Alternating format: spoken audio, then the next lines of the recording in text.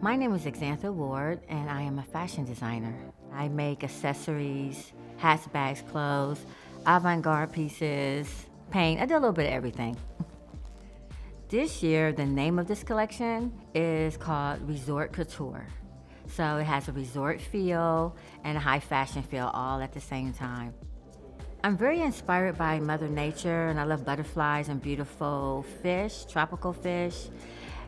And it's very colorful this year, so I added a lot of color because normally I do earth tones.